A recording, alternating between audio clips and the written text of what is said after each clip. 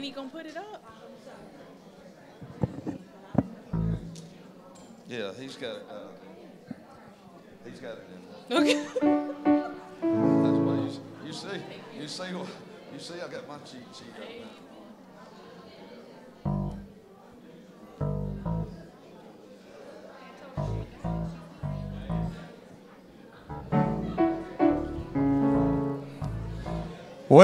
Praise God, saints. What do you say we give God a little praise in this house this morning? Come on, hallelujah. I'm going to read a couple scriptures here to get us started off with, and then we need to sing happy birthday. Does anybody have any idea whose birthday it is today? Does anybody in the church know whose birthday it is today? Huh? Who? Who does? Hush, you were at breakfast Look with me. top. You cheating. Today is the birthday of the church. On this day, that's right. Today is the day of Pentecost, and on this day, God birthed his church.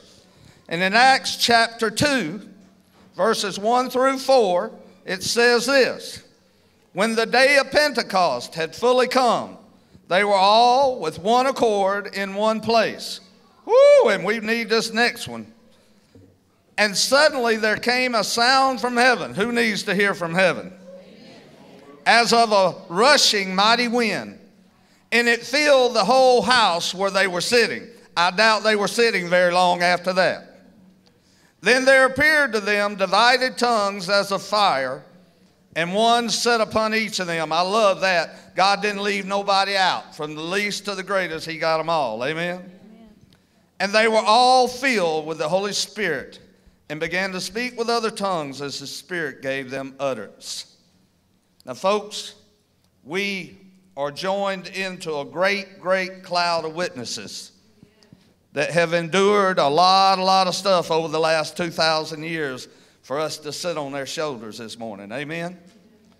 The church is the most peculiar, most powerful, most persecuted entity that's ever been created in the history of the universe. And the reason it is because our head, the Lord Jesus Christ, has been so persecuted against. Satan hates him, but I got some news for you. Jesus uttered this statement, and when he made this statement, he uh, it's kind of like drawing a line in the sand.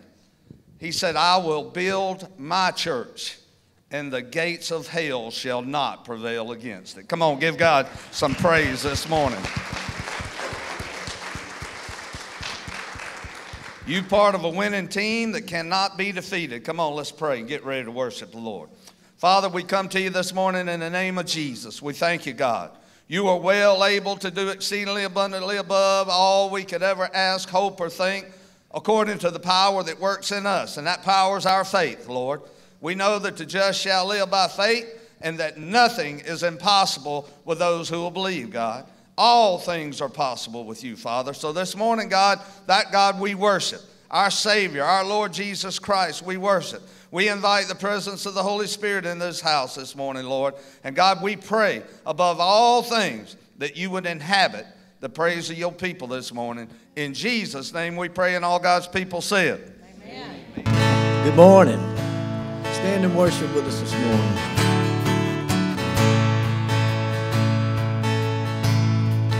I searched the world, but it couldn't fill me.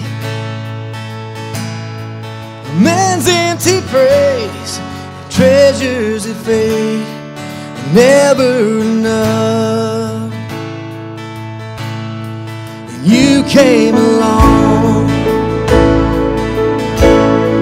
and put me back together. And every desire is now satisfied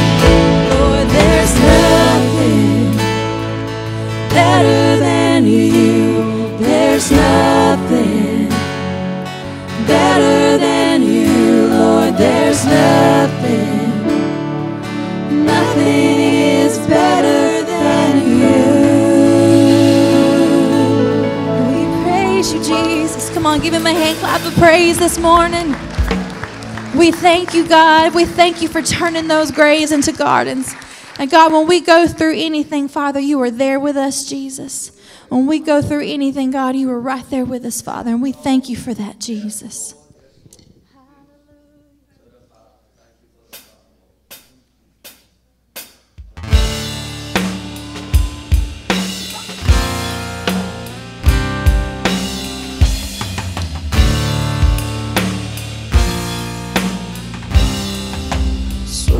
Times I've questioned certain circumstances and things I could not understand.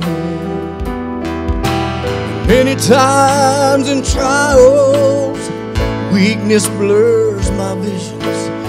That's when frustration gets so out of hand. Oh, but it's then I am never been forsaken.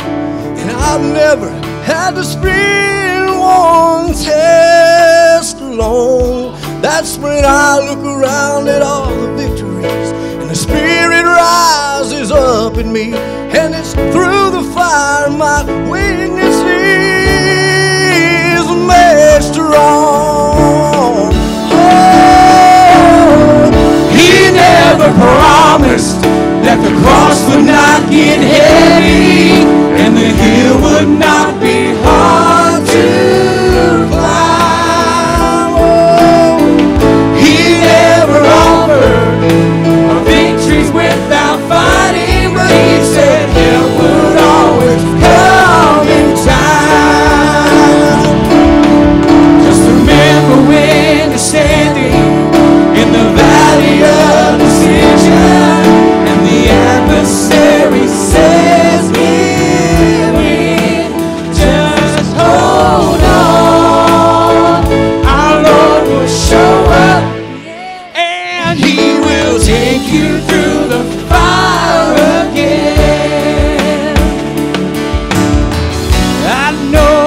within myself that I would surely perish.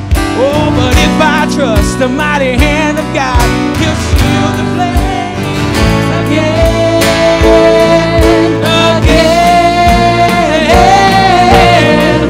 He never promised that the cross would not get heavy and the hill would not be hard to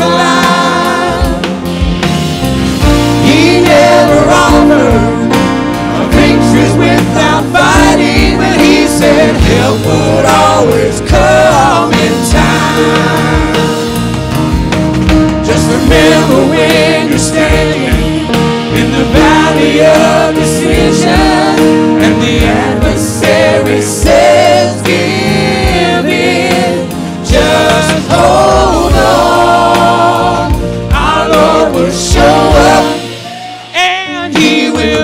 you through the fire again. Say, just hold on. Our Lord will show up and he will take you through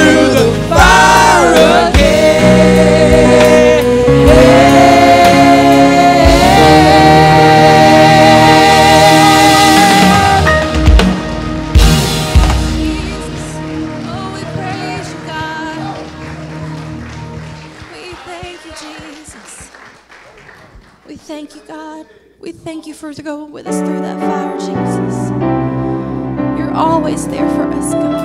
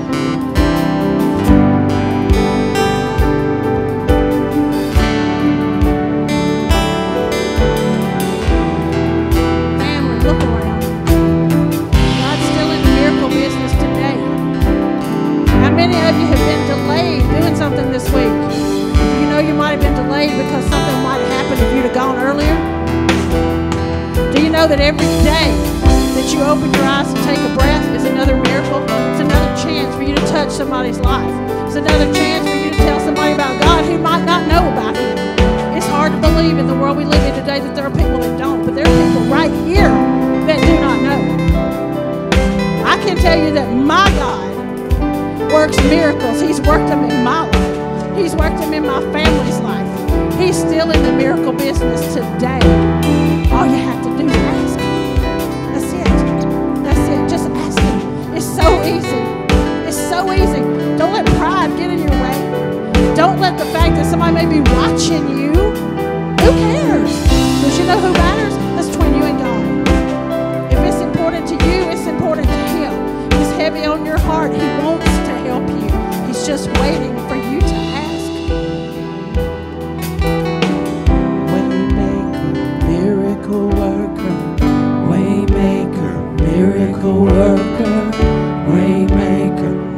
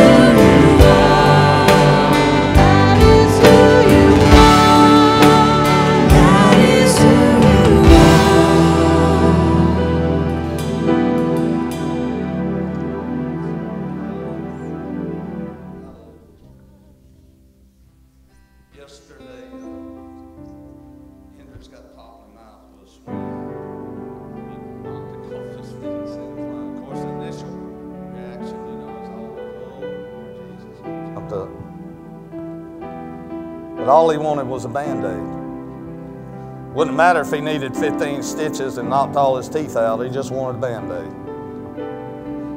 And that's what this is when we come to the altar and, and we have needs. Lisa got a report this week that she's got cancer in her shoulder. God's bigger than cancer, amen. Carlton needs God just to regrow him a new shoulder, amen. God's bigger than a shoulder, amen. And sometimes we just need to come to God and we just need a band aid. There's many on our prayer list. You see them up here. Uh, Sister Erlene uh, uh, House has asked us to pray for her this morning. If you got a need this morning or you know someone that has a need that God needs to touch, only God can touch, would you just slip your hand up and let the Lord see it? Just let the Lord see it. Continue to remember the parish family uh, as they get ready to say goodbye to Shannon. Father, we come to you this morning in Jesus' name, Lord, and there's so many boo boos, Lord. There's so many boo boos with your children, Lord. There's so many times, Lord God, when a band aid will do, Lord. But a band aid doesn't fix the problem, it just covers it up, Lord. God, what we need is balm, Lord. We need that balm that was found in Gilead, Lord God. We need the balm that comes from Jehovah Rapha, our God who heals. We need the balm that comes from Jehovah Shalom, the God of our peace. We need that balm that comes from Jehovah Jireh, our provider. We need that balm that comes from El Shaddai, God who's all powerful and all sufficient. We need that balm that comes from you who are a way maker when there seems to be no way. Lord, we've seen and heard a miracle after miracle after miracle when someone said there's no way, not even God can do this. And Lord, you show up and prove us wrong every time. The just shall live by faith, Lord. You're looking for a people who will choose to believe you today, Lord. And I believe the time is coming, Lord, where faith is going to be the currency again in the kingdom of God. So, Father, we pray for each and every one of these needs this morning, Lord. On our list, God, these people that have trusted us to pray for them every week, every day, Lord God. And Father, we just thank you this morning, Lord, that you are a waymaker. You're able to do exceedingly abundantly above all we could ever hope or ask or think according to the power that works in us. I trust you, Lord. I've trusted you, Lord, for 31 years now. And like my sister Geraldine Matchett used to say, you'll do to depend on, Lord. You've never failed me once, Lord. And God, I thank you this morning, Lord that you'll reach down and touch every one of these needs because we've prayed and you said you hear every prayer, Lord God. And you take the prayers of the saints and you mix them with the coals from the altars of the mercy seat, Lord. And they come before you and you send answers to those prayers. Thank you this morning, Lord God, for your faithfulness. In Jesus' name I pray, and all God's people said, Come on, give the Lord some praise in his house this morning. Hallelujah. Hallelujah. Hallelujah. Yes, Lord. You may be seated if you will. We, uh, we've discussed it, and, and, and especially since I saw the, the evidence this morning, uh, not next Sunday, but the first Sunday in June, we're going to move the uh, offering boxes back in here uh, so that we, we'll be able, so you'll be able to bring your, your gifts actually to the altar. Amen. I mean, I, I guess you can uh, sanctify anything as an altar, but you know the doors going in and out really aren't altars. These are the altars. So we're going to bring the the baskets back into the house. Do you understand that giving is just as much worship as what we just got through doing? Amen. Giving is, the, it's just the most sign of it's just a sign of obedience. God tells us to worship Him, to come to Him in His house with thanksgiving, His courts with praise and he also tells to do the other. So we want to we want to re-sanctify the altar and bring our gifts back to the altar again. Praise the Lord. Uh, Pastor Stephen wanted me to announce uh, this morning. Let me get my glasses because I can't read his writing without it. No. Uh, youth lock-ins this Friday.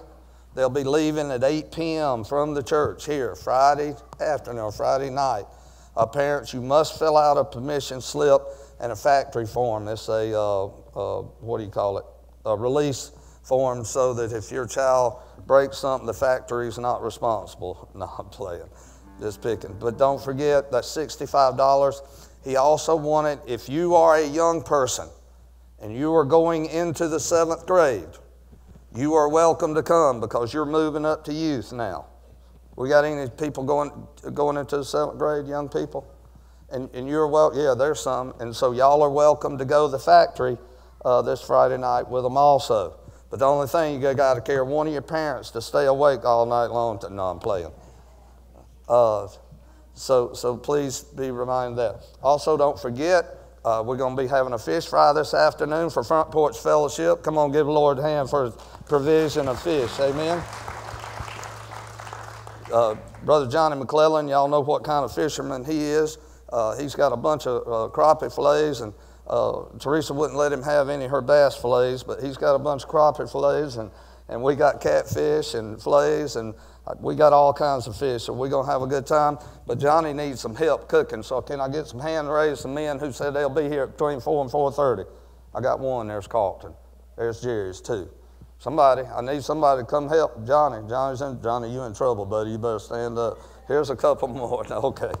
And we'll get them fixed. And ladies, y'all, we got a one pan of baked beans, one pan of potato salad, a gallon coleslaw, so anything else y'all want to bring that, that goes with fish with that, uh, please do. Uh, last but not least, I would like to say this. I am absolutely overwhelmed at the support that the guys had that came to work on Camille Place. It was amazing. I got a text this morning. Wish I brought my phone in here to read from one of them. He said, Pastor, we've never been treated better anywhere we've ever been. And he thanked us so much for all the hospitality. Amen. Hospitality, food. So they were, they were a delight to be around also. And I want you to know that, the, that all the walls at Camille Place are completely up in one week. One week. I've never believed it could happen, but it did. It, it, was absolutely amazing the amount of work got done. And already got uh, volunteers for free labor, for for the roof, for the sheetrock, everything. I mean, it's absolutely amazing what God's doing in that situation. And it's all to give teenage girls a life back, man.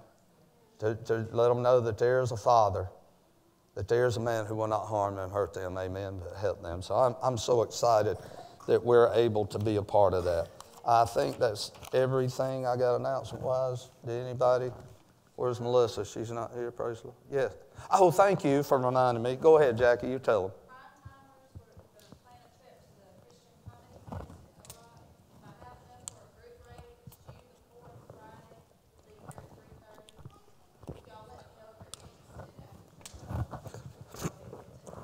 Yeah. And uh, and you paying my way? No, just, picking. That is uh, uh, from what I've heard, that's a real good time. They'll laugh, laugh, laugh, laugh. So if you want to avail yourself of that. And I think Jackie said you had to be 40 in order to join that club. So it's really not. If you want to go, you come on and go. If you're a prime timer, amen, you're welcome to go. I think that's all, if I'm not mistaken. Anybody else? I forget? Please do.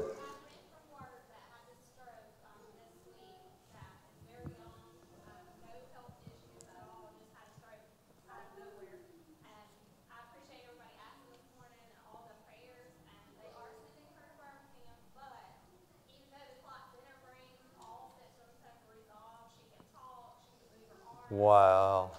Wow. Wow.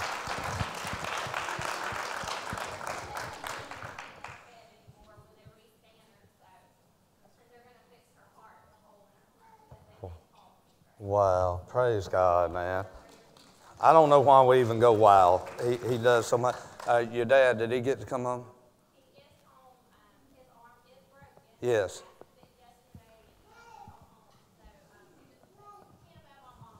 Yes, and I'm so thankful you stood up because I'd forgotten about him. But Mike, I went and saw him. He's got a cracked wrist, and, and he, he and Cheryl need prayer. So we'll add them into that prayer we just prayed. Amen. Continue to lift them up. We want to release our young people now to go to children's church. Praise the Lord. Thank you, Lord. Good gracious. Hallelujah. And Kate still needs nursery workers. sign up. Need background checks? I tell you, every Sunday.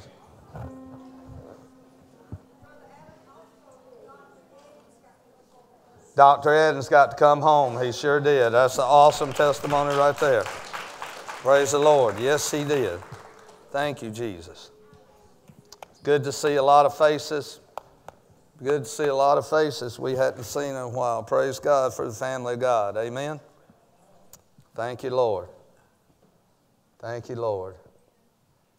Hey, buddy. I miss your top knot. My boy had all kinds of hair, and then we cut it off. so we play together every day, don't we? Praise God. Hit it, maestro.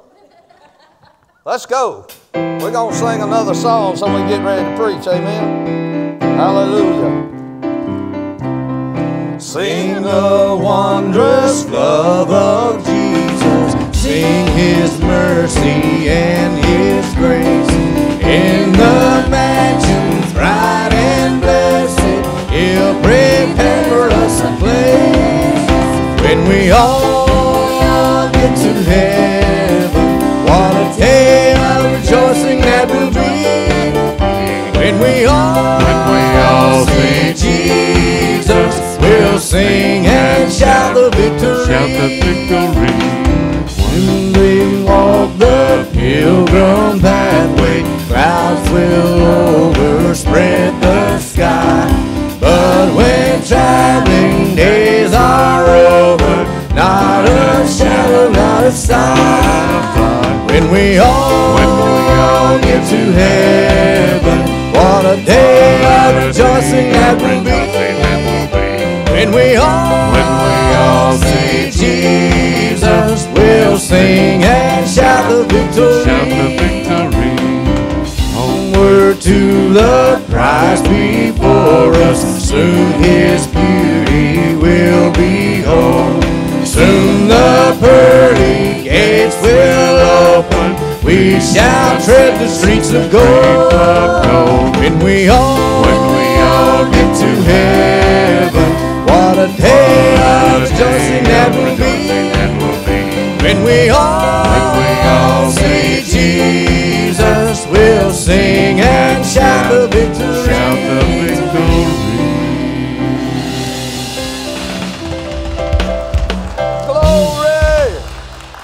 Thank you, Lord.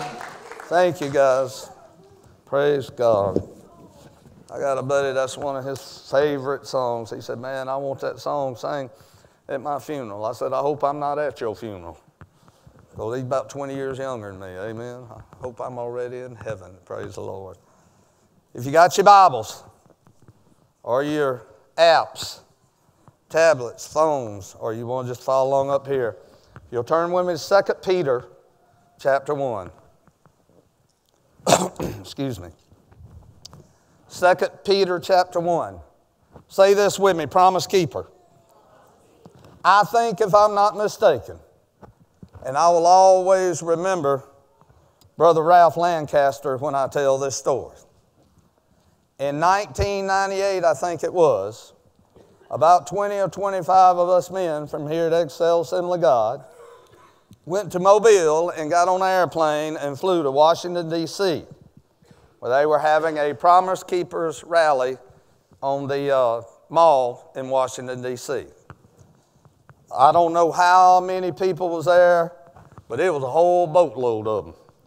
The whole mall was completely covered up. We got to go up in the Washington Monument, up in the top of that thing, look around, because Tony Crossland's two boys stole us a place in line. And I didn't even repent of that sin. So forgive me, Lord, for that. And they shut it down. We were the last group that got to go up, and they shut it down. So thank you, Lord, for that. Well, we left here and drove to Mobile, and we had time to stop at, it wasn't Ryan's, what, Barnhill's. Barn Hills Buffet. Because that's where Brother Ralph wanted to eat. Because he liked to get the most for his money. Can I get amen? Anybody that knew him?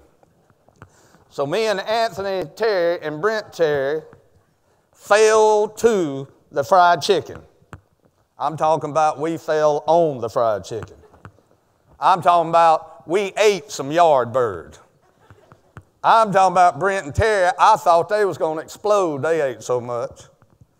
And Brother Ralph finally put his fork down and said, I can't eat no more for watching y'all eat. But we had a good time. I'll never forget that trip as long as I live. It was a mighty fine time.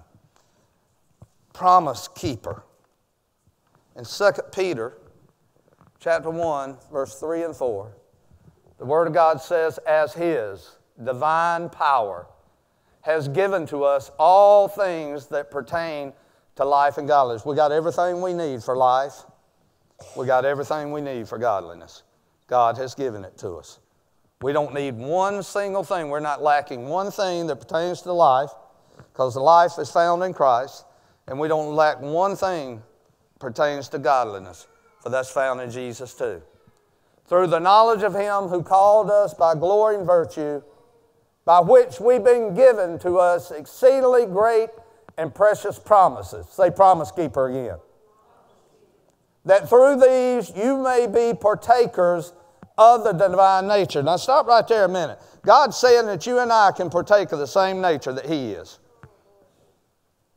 That's what he's saying right there in that scripture. He's saying you and I can be just like God. We can have the very nature of God, the very divine nature, the very creative nature of God, the very loving nature of God, the very merciful grace of God and, and grace of God. We can have those natures within us because of these pure and precious promises. Because God is not a man that he could lie. That through these you may be partakers of the divine nature having escaped the corruption that is in the world through lust. Let's pray. Father, in Jesus' name, help us this morning, Lord. Oh, God, I praise you, Lord. Lord, I thank you. I can't get enough thanks out of my mouth for saving me, Lord. I don't know where I'd be. I tremble to think of where I'd be today, Lord, had you not found me. Lord, and come and save me and pick me up. I'm so thankful this morning, Lord. And your word, Lord, is what has kept me, Lord God. And your church has sustained me, Lord. And I wouldn't want to be without any of them, Lord. So, God, I thank you for you and your word. I thank you for Jesus. I thank you for the church, Lord. God, this morning I asked you to give us ears to hear what the church, what the Spirit saying to the church. In Jesus' name I pray, and all God's people said. Pentecost, I said earlier, it's the birthday of the church. This is a day a little over 2,000 years ago the church was born. The Bible says before the Holy Spirit came that men were trembling in fear. They were hiding out. They were still concerned for their lives. The old boys were hidden up in the house. Jesus had to walk through a wall to get to them. They wouldn't even open the door for him. But after the day of Pentecost came, they were willing to lay down their lives. Today is the birthday of the church. Crowfoot. Any of you know a fellow named Crowfoot? Y'all don't know him? Well, that's good because he lived a couple hundred years ago. He was chief of the Blackfeet, and he gave the Canadian Pacific Railroad permission to cross his land. And they gave him a lifetime railroad pass. He put it in a leather case, he carried it around his neck for the rest of his life. But there's no record that he ever availed himself of the promise he carried around his neck. The promises of God are often treated the same way by Christians. We hang them on our walls in beautiful plaques. We put them in little treasure boxes, the songs that play standing on the promises. But in times of trouble, they never claim these promises for themselves. They only work if they're in their hearts. Deuteronomy 1:11 and uh, Hebrews 10:23. May the Lord God of your fathers make you a thousand times more numerous than you are and bless you as he has promised you. Is the nation of Israel still blessed today? God spoke that almost 6,000 years ago. His people are still blessed today. They have more, uh, they're more millionaires per capita or per, uh, per thousand people in the Jewish, anywhere in the world. There are more uh, uh, Nobel Prize winners among the Jewish people per capita than any nation on earth. More doctorates and PhDs. They are blessed today, and God spoke that promise uh, five, at least 5,000 years ago or over. I didn't do the timeline, forgive me. Hebrews 10 23, let us hold fast the confession of our hope without wavering, for he who promised is faithful. God is faithful, he can't lie. He's not only a promise maker, he's a promise keeper. I like to keep my word. I value my word. I treasure my word. I, if I tell somebody I'm going to do something, I, I just absolutely want to do. But there are times, circumstances come that keep me from being able to fulfill my promises. That was one of the things I worked so hard on with my children growing up. I didn't want to tell them something and, then, and me not do it because I wanted them to trust God. And I knew if they saw that I wasn't one day they might wonder if God was too. But there are some circumstances that get in the way sometimes I mean, I don't know what it is, you know? I might have promised that uh, I'd take Irma out to lunch tomorrow. But then Johnny calls right before bedtime says the fish are biting. You want to go fishing in the morning. It's a circumstance, man. You can't get out of that. I know I can take her to lunch anytime. He might not invite me to go fishing again if I don't go. Amen. But God doesn't have any circumstances that forbid him from keeping his promises. If God makes a promise, God's going to keep the promise. There's nothing to keep him from keeping his promise. God doesn't operate on time. He doesn't have circumstance. God can go fishing anytime. God can take, uh, look, God has no limitations. Nothing is going to stop him from keeping his promises. Now, here's the problem. Y'all ready? Here's where me and you lose it right here. The problem, too often than not, I believe, is that we categorize God keeping his promises to us the same way people keep their promises to us. I think that's the problem. So we go through life, and people in our life break promises to us. And if not, we're not careful, we'll see God in the same light. And, and, and, and I don't even think it's, uh, I don't even think it's something that we do uh, natural. I think it's subliminal. I think it's just something because if you got wounds, if you've been hurt, if people made promises and didn't keep them, you put these walls up. And when you put walls up, oh, God can't penetrate those walls either. That's why forgiveness is so important in our lives. That's why it's so absolutely necessary that you and I learn how to forgive. Because if not, those same walls we put out up to keep people out from hurting us are same walls that'll keep God out if we're not come. Boy, that was good. That ain't even in the notes. That just came. That had to be the Holy Spirit. Whoo! Man, let me say that again. That is powerful right there. I've never even thought of that. Thank you, Lord. Maybe I need to work on that. If we're not careful, the same walls we put up to keep people from hurting us will also keep God out of that place in our lives that needs healing. Wow. That'll do think on there a little bit. Thank you, Lord. Malachi 3 6 says, For I'm the Lord, I do not change. Therefore, you're not consumed, O sons of Jacob. God doesn't change. He doesn't change his mind. He doesn't change his ways. He doesn't change locations. He doesn't change anything. I am God and I do not change. If I tell you something, you can put it in the bank, you can put it in your pipe, however, wherever you want to put it, but you can put it there and guarantee that I'm going to do what I said I'm going to do. One of God's name even is amen. How many of you know what amen means? Amen means so be it. Amen. Revelation 3:14. The Bible says, and to the angel of the church of the Laodiceans write, these things says the Amen. That's his name. The faithful and true witness, the beginning of the creation of God. That's Jesus. He is the truth. He is the Word. He is a promise maker and He is a promise keeper. Now, since God is a promise maker and a promise keeper, what are some things that you and I can expect from Him? Now, here's the thing let me say this. When me and Irma stood, I was going to say on an altar, but we didn't do that. When me and Irma stood before Judge Othalie Biggs and got married, because back then you still had to have a marriage certificate, you couldn't do it online. Got some smiles back there. And we had to wait on Othalie Biggs to get a haircut to get back to Maris. That should have been a sign to her right there. Run! No. But we made some promises to each other that day, right there. And it doesn't matter where it's done or how it's done. What matters is that God hears it. And we made some promises to each other. And I know I've kept my end of them. I can't speak for her because I don't know, you know, I don't know. She had to take that up with God. But we have kept this time. All right, so watch this now. I expect her. I expect her because of the promises she made to me.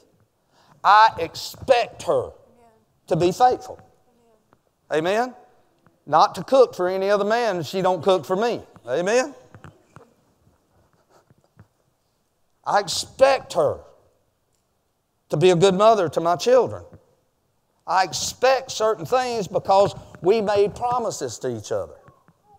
It's no different. When you, when you kneel and you ask Jesus Christ to become your Savior and your Lord, you are speaking to one who is the truth.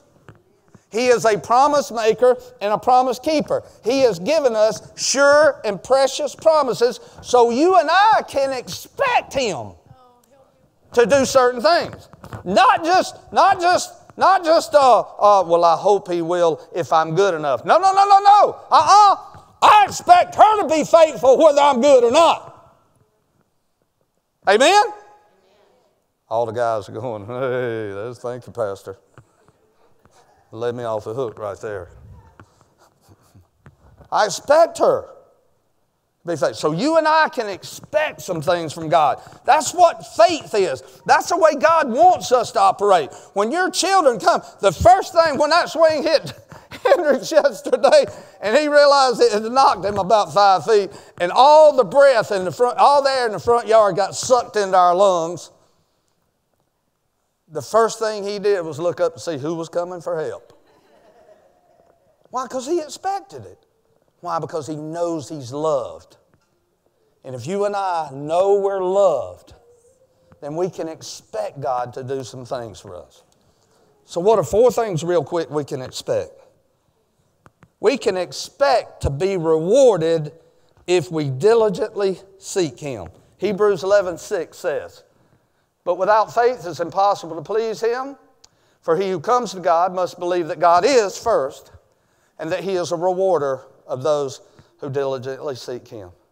So if you and I, in the middle of our trouble, listen, let me say this first. Nothing pleases God more than for His children to trust Him.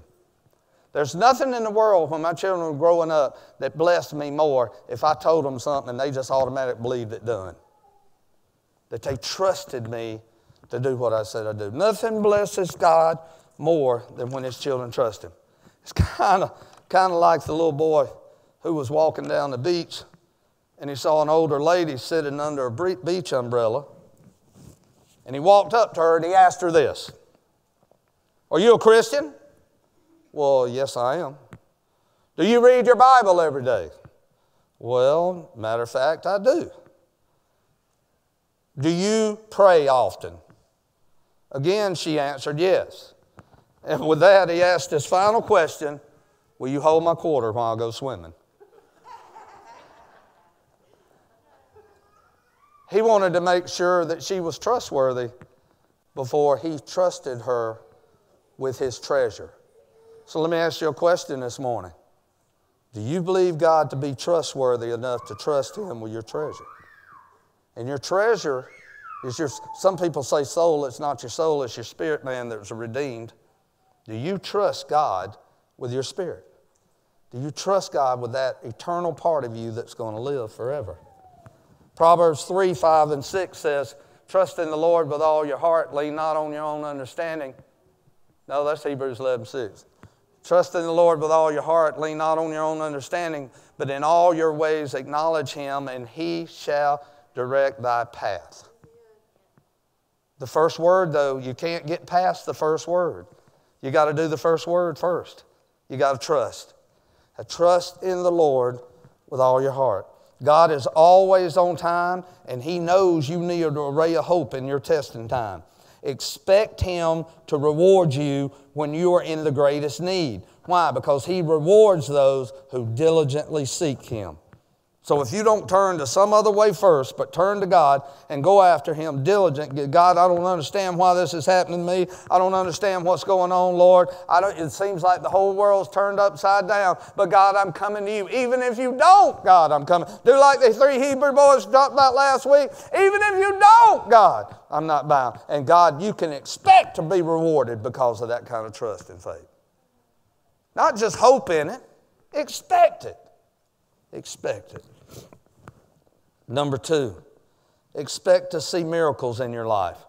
Mark 10 27 says it like this But Jesus looked at them and said, With men it's impossible, but not with God, for with God all things are possible. Expect miracles. Now listen, there are two kinds of miracles there's instantaneous, that which happens immediately, right then, point blank, and there's progressive.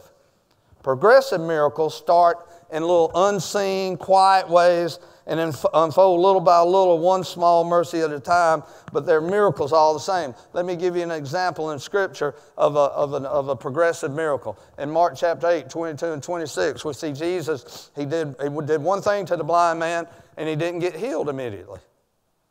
So Jesus is trying to t- tell us this point in the Word that sometimes I'll do it instantaneously and, and immediately, and sometimes we're going to take a little time because you'll learn better if we take a little time.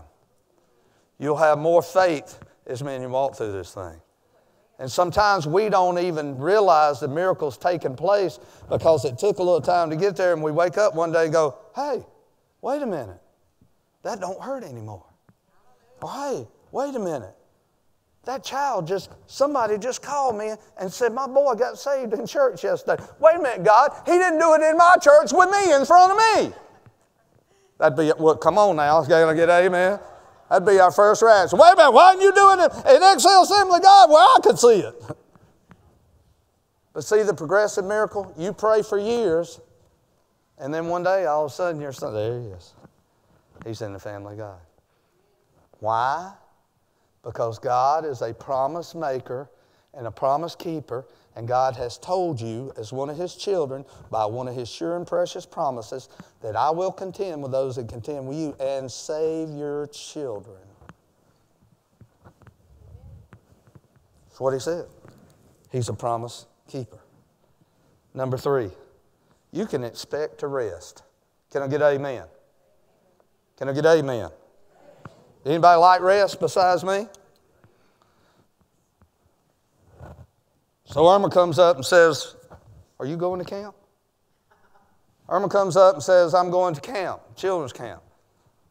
Okay, I'm not. Been there and done that and got three or four t shirts in the closet. She's going to camp. And something else is going on where she's going to be tied up most of the summer. She said, You need to take me somewhere. So I got online, started searching for somewhere. We got a timeshare we've had years, and anyway, got to look at. Well, it's not easy on last minute stuff. But this is, her, I, want, I want you to see this. This is her requirement for where we're going. Anytime we go anywhere, you make sure it's got a golf cart course or one close by. Now, now, now wait a minute. Whoa, whoa, whoa, before you clap. Before y'all think too highly of her. I used to think that was because she loved me so much and knew I enjoyed playing golf and just wanted me to get out and go play golf, right? No. It's so I'll get out of her hair and leave her alone so that she can go to antique shops and read books and do what she wants to. you know what I mean? So that she can rest. Now, watch what God says about rest. There remains, therefore, a rest for the people of God. For he who has entered his rest has himself also ceased from his works, as God did from his. Let us therefore be diligent to enter that rest, lest anyone fall according to the same example. God wants his people to rest in what? His promises.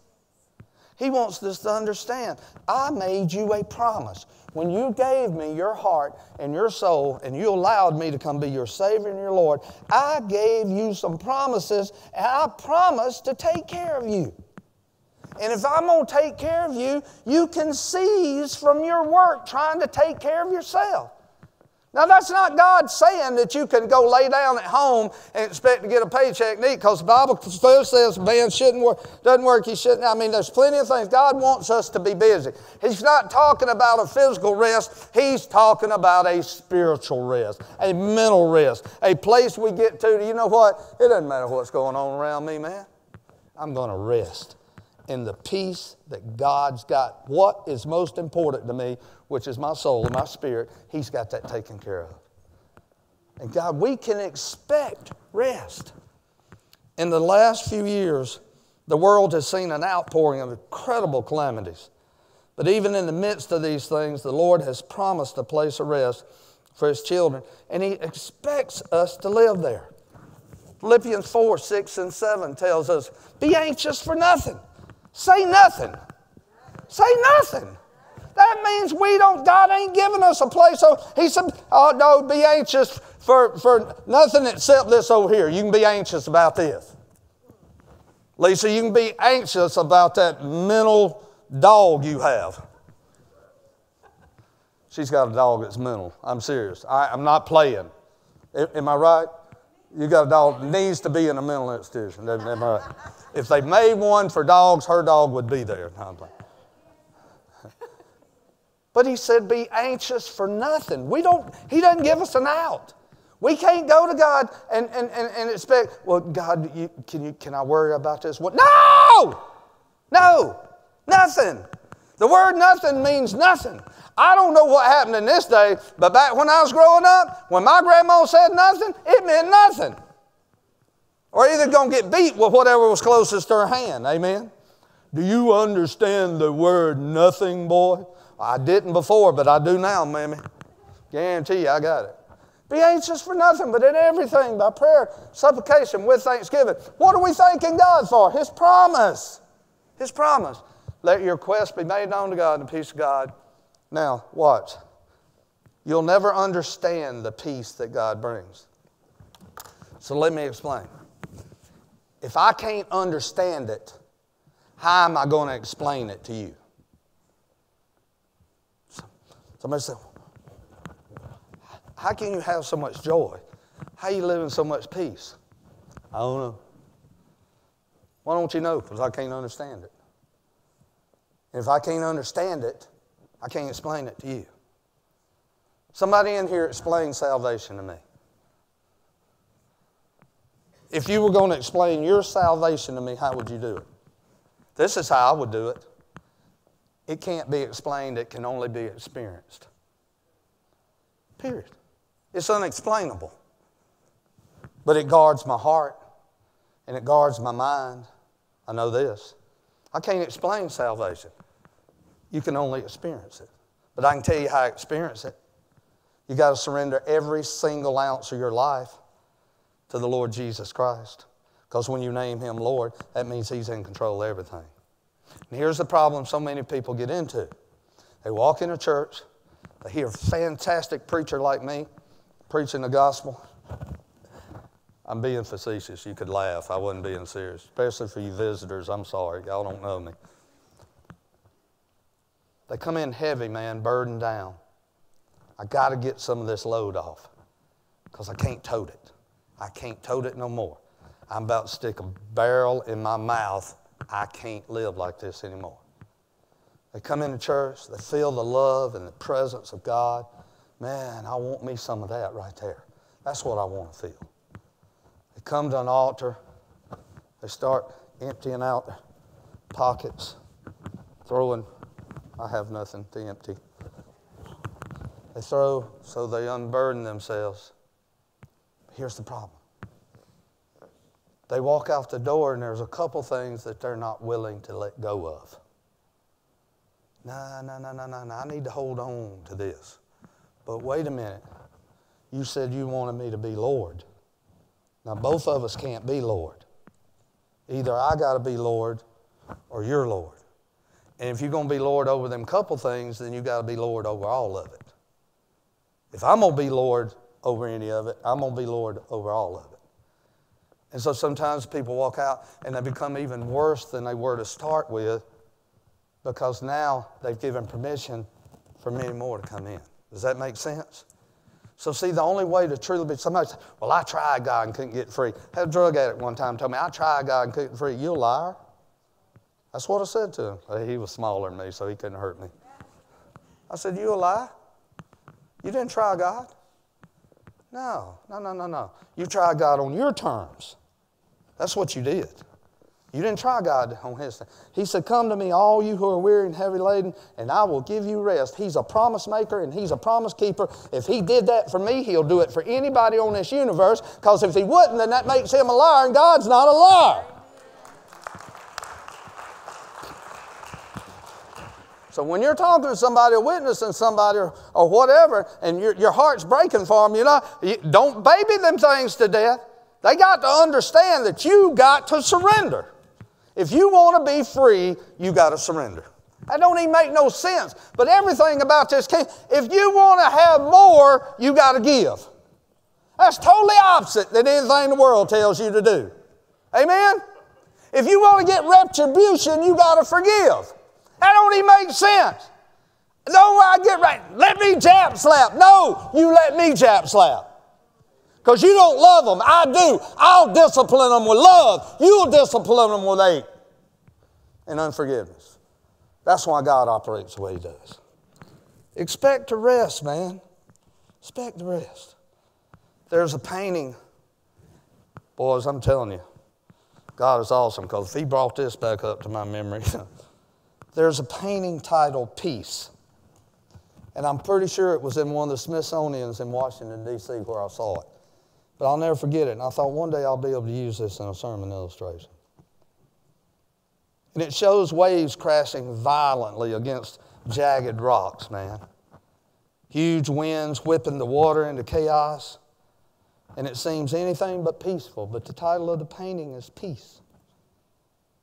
But down in a corner of the painting, tucked away in the rocks, is a little bird sitting on her nest, totally, totally oblivious to the raging storm all around her. That's the rest God's talking about. Get your eyes off all this stuff. Get your eyes off all. I got you right there. You built your house on the rock. And when you built your house on the rock, Jesus Christ, did I not tell you that no matter what winds, no matter what waves, no matter what it is comes, your house is going to stand? Period. God wants us to rest. And then expect to be rewarded as you diligently seek Him. Expect to see miracles in your life. Expect to rest. And here, here's the last one. This is one I've been wanting to come to all morning.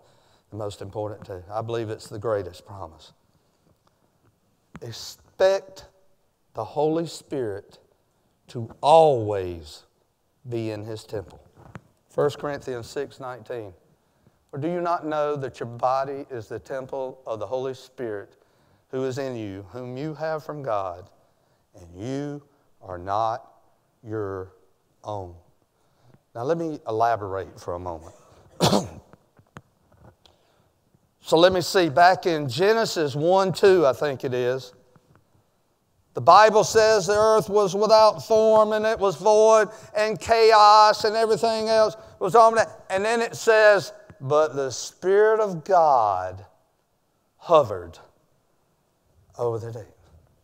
So, in the very beginning, in the second verse of the Bible, period, the Bible says, and the Holy Spirit, the Holy Spirit, the Holy Spirit hovered. Now, the word for hovering here is not the word you and I think that's just hanging there sitting still. No, it's the word that means moving, it means shuffling, moving. So the Spirit of God was moving over the whole earth, if you will.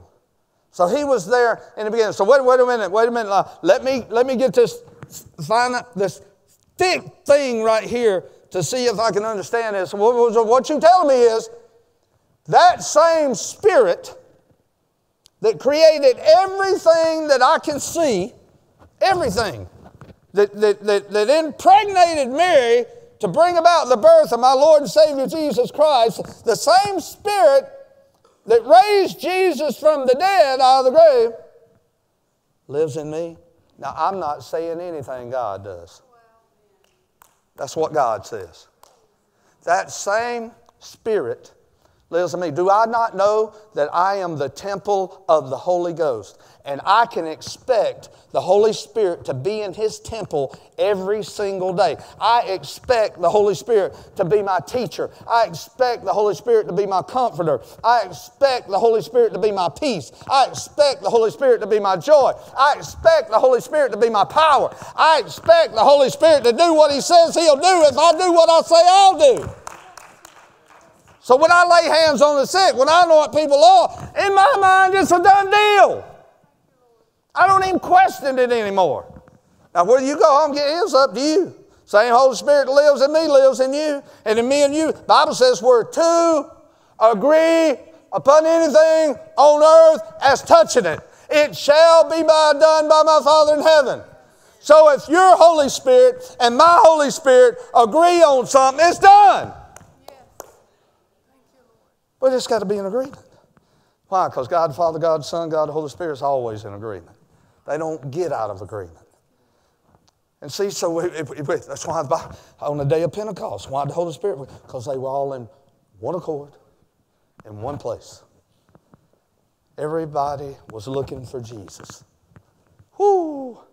I can expect the Holy Spirit to be in this temple. I've been asked, how do you know the Holy Spirit is living? Oh, praise God, these are over here. Thank you, Lord. I got a sermon illustration just laying here. Thank you, Lord. I've been asked before, how do I know that the Holy Spirit is living in me? I know in the same way that I know there's music on this CD. Even though I can't see it, I can know this is know it's on there by one or two ways. Listen to me now, this is important. I can believe where the label says there's music. I can believe the label. Amen? Or I can play the CD and hear it. One of two ways that I can know that there's music on. Anybody see any music on here? Huh? Anybody? Anybody see? Anybody hear any music? So I either got to take it for its word. I either got to take it for its word that there's music on here, or I got to play it and hear it for myself. The promises of God, the word is no different. I can know the Holy Spirit indwells in me by believing God who said that He would give me the Holy Spirit, who said that I was the temple of His Spirit. I can either do that and believe God for that, who tells us in His Word, or by seeing the results of the Holy Spirit in my life. Now I got it both ways. I believe it. I believe. You know when? You know when I got back? I was saved in this church, down at the old place. But for a year and a half, man, I didn't want to hear nothing about this Holy Spirit mess. Scared death. I'll never forget my mama said, I will lay down behind your car to keep you from carrying my grandchildren to that church.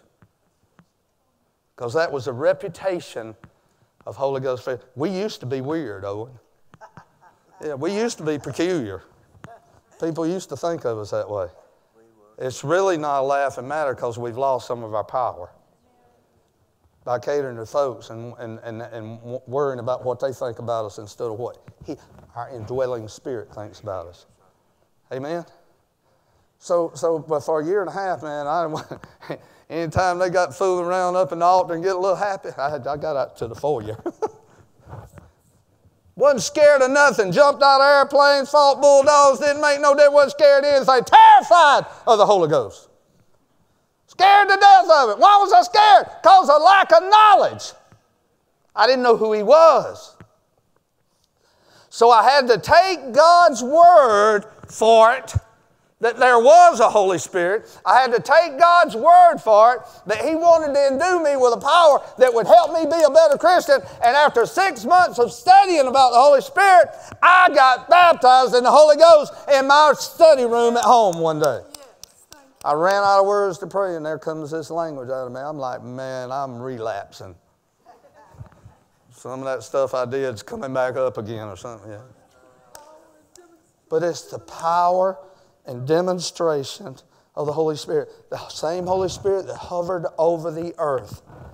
That hovered over the earth. And he said, when God said, let there be light, the Holy Spirit said, through that sun up there. When God breathed breath into Adam, it wasn't God breathing, it was the Holy Spirit. That same Spirit, God says, dwells in my temple. My temple. And you know why He lives there?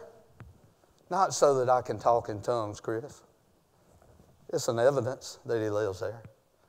He lives there so I can be His witness. He lives there so that I can witness of the power of Jesus Christ to change a person's life.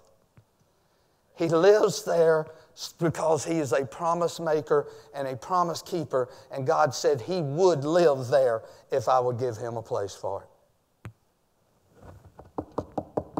Behold, me and Daddy standing at the door knocking. If any man would open that door and let us in, we will come and make our abode with Him. That means we'll come live there. We'll come live there. Mm. I'm going to try to finish real quick here. Man, feel like I'm preaching to me. Father stopped by his son's baseball game on his way home from work. As he sat down near the first baseline, he asked the boys to score. We're behind 14 to nothing, one of the young'uns replied. you don't look very discouraged, said the father. Discouraged? Why would she be We'd be discouraged? We hadn't even been up to bat yet.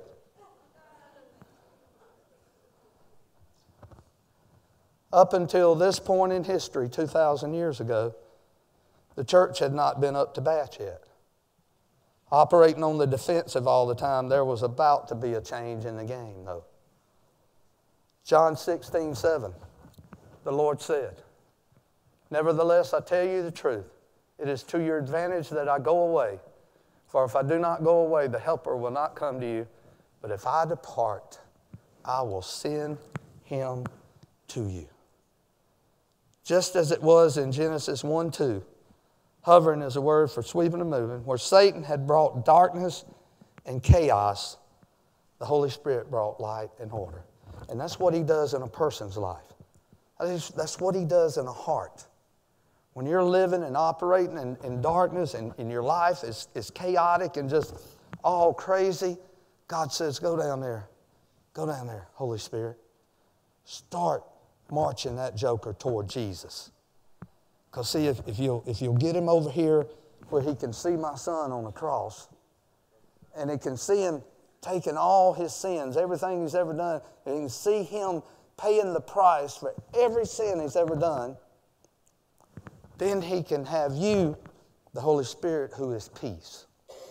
So this, this is the way this thing happens. God sends the Holy Spirit, he begins to woo a man, and then that man gets to see Jesus on the cross. You see Jesus on the cross, you repent, ask God to forgive you for everything you've done. I accept Christ as the sacrifice of my sin.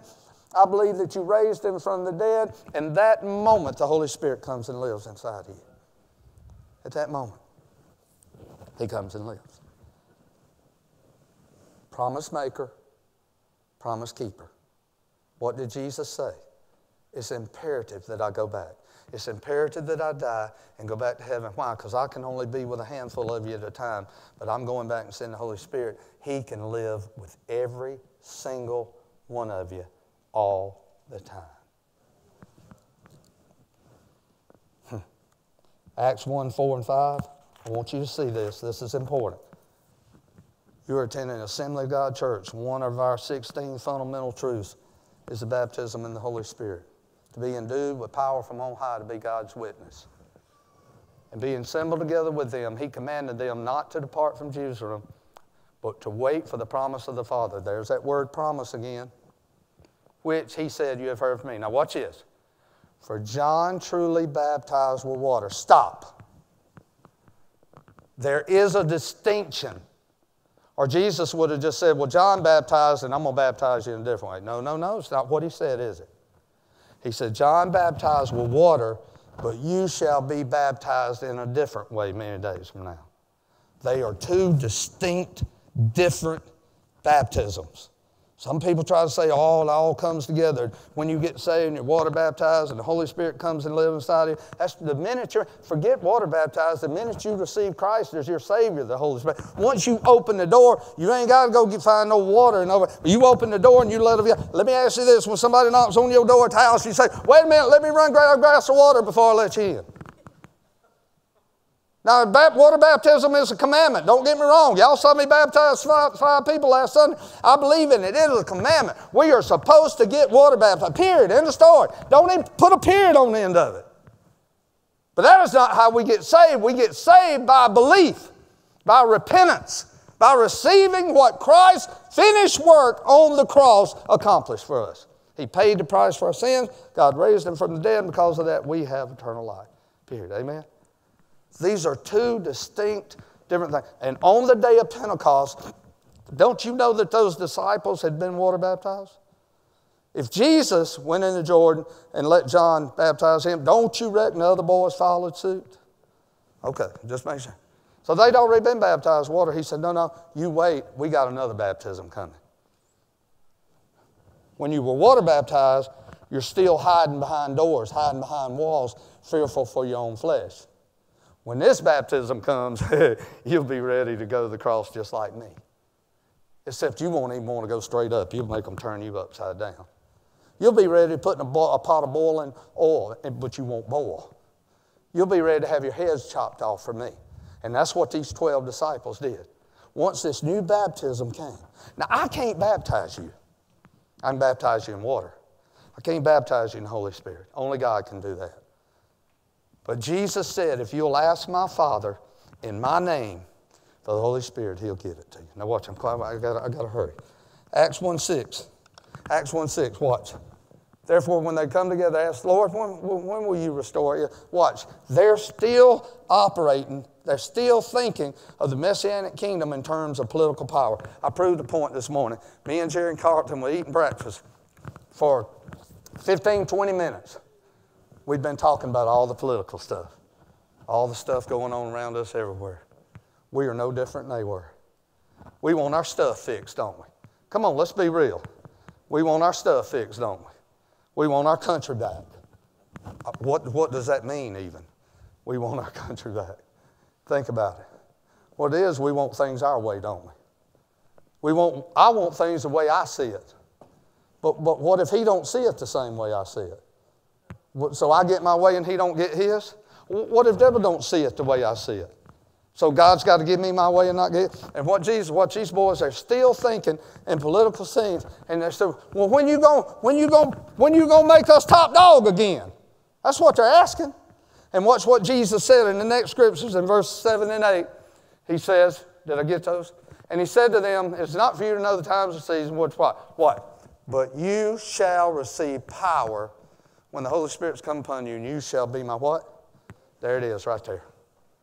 If you ever got any doubts what the purpose of the baptism of the Holy Spirit is for, there it is, right there. If you're having trouble witnessing of Jesus, God got on me a couple weeks ago. I love to play golf, and He said, Hey, do you carry me the same way the golf course you carry me in that pulpit? Well, as a matter of fact, I do not. Well, how about let's get in that straight? Let's tighten up there. Because if you're going to go do something and you expect me to go with you doing it, then you need to be witnessing to me. Because that's why I'm with you. I'm not with you to help your slice in your golf game. I'm not with you to make your golf cart run better. I'm with you to empower you to be my witness. So if there's anywhere in your life you're going and you're not going to be witnessing the same way you do uh, uh, uh, up front on camera on Sunday morning the way you are everywhere, then I ain't going with you. You can go by yourself. And that's just the way he talked to me. And I had to do a checkup from the neck up, boys and girls. And I had to realize is there anything going on in my life where I'm not witnessing just as much in that part of my life as I am anywhere else? Because he endued me with power to be his witness. Thank you, Aunt. I'm closed. The Holy Spirit upon one of the most profound is one of the most profound concepts in the Bible. Listen, Jesus was conceived by the Holy Spirit, and the Spirit working in him brought about good character and good works. But later, the Spirit came upon him to bring forth a ministry of power.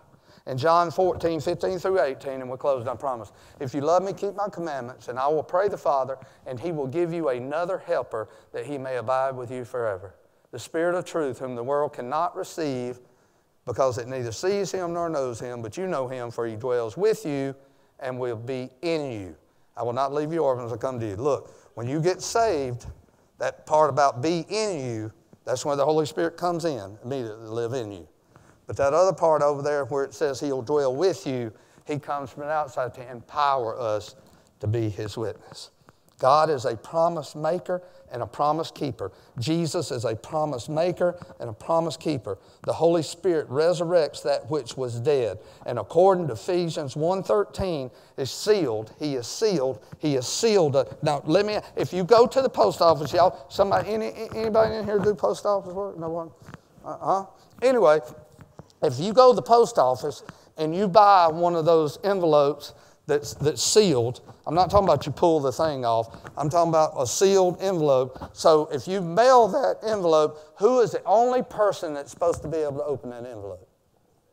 The person it's addressed to, the person it's sent to. Amen? The Holy Spirit seals you and I, and there's only one person in this universe that gets to open that envelope. And that's God Almighty. That's God Almighty. So you're like in one of those personalized sealed envelopes already on your way back to God if you're saved. And when Jesus sends the angels down here to separate the goats and the sheep, wheat, wheat and tares, whichever parable you want to use to separate those saved and those lost, then they're going to see that seal. Boom! In a moment, in a twinkling of an eye. Now, I said all that because Pentecost is an opportune time to talk about the Holy Spirit. The Holy Spirit is not a boogeyman. He's not some, uh, you know, something that comes out once a year like Halloween in haunted houses or something. The Holy Spirit is God. He is God. He is God. He is God. He is just as much God as Jesus is, as God the Father. Their name is God, all three of them. Their, their, their, their positions, their, what they do Father, Son, Holy Spirit. That's not their name. That's their, that's their titles, their jobs. They're God. So, as I said in the beginning, the God who spoke order out of chaos, who put sun in the sky, who put the fish in the sea, He's the same God who lives inside of me. Give God some praise, can you?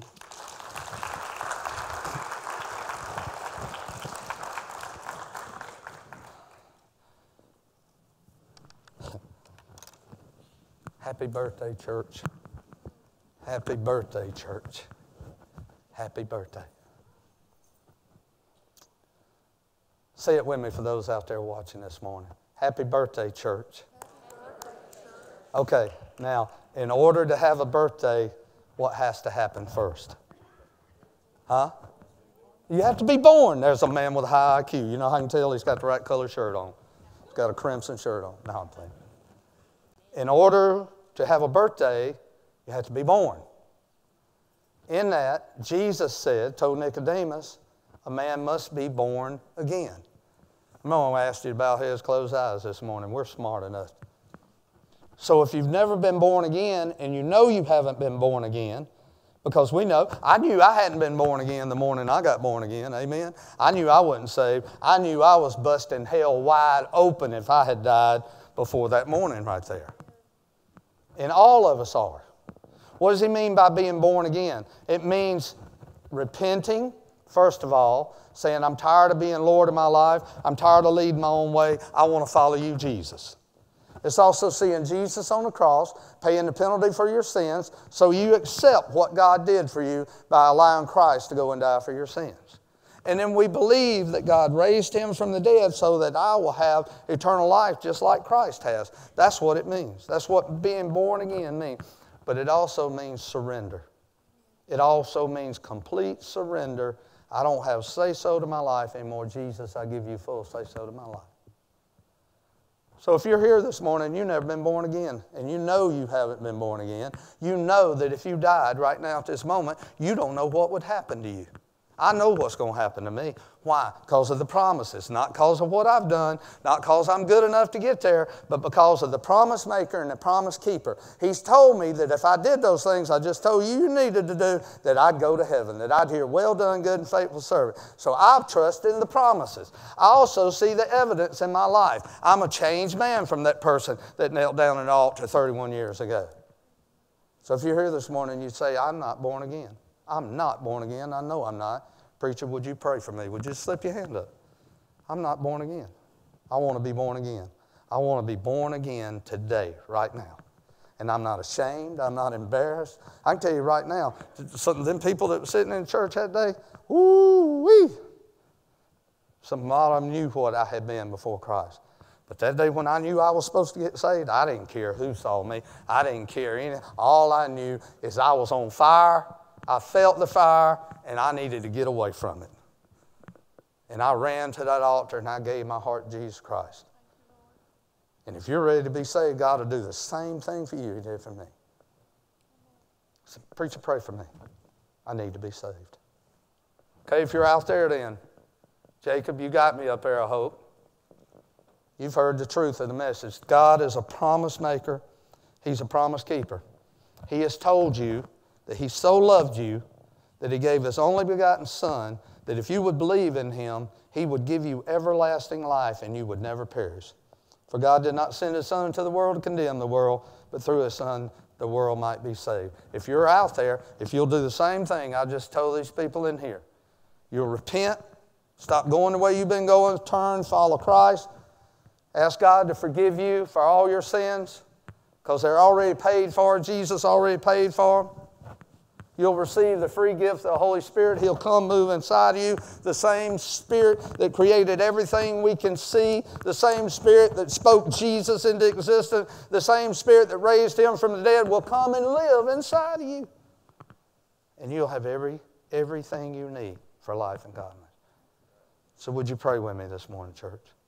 Father, in Jesus' name, on this day of Pentecost, the greatest day the church has ever known outside of Christ dying and being resurrected on this great day of Pentecost, Lord, when the church was born, when she was birthed. 3,000 added to the church in one day, and Peter preached just a simple sermon.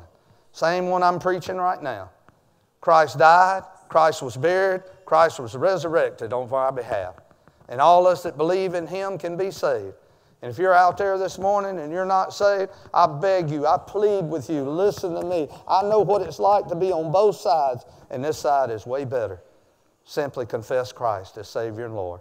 Believe in your heart God raised him from the dead, and you shall be saved.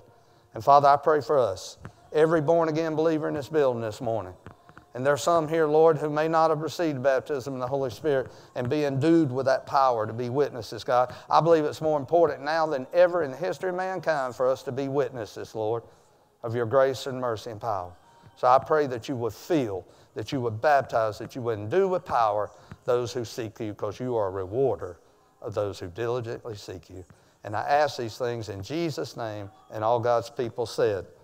Give the Lord some praise for his word this morning if you enjoyed it.